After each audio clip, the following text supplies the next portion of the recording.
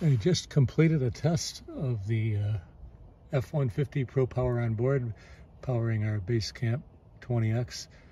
Right now, the only thing running is a refrigerator, which is well below 200 watts.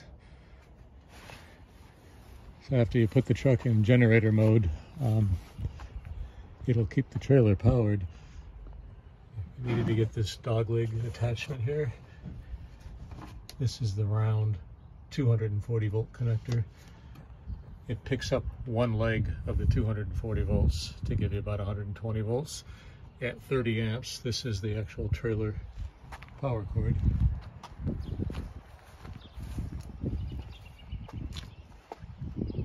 So we just ran a test here. We ran the microwave and the uh, air conditioning heating mode and the refrigerator I think was running the whole time along there. We were boiling water in the microwave and it was about 2,900 watts. I'll throw a couple photos in here. The first photo will be the um, just the refrigerator and the air conditioner heater running.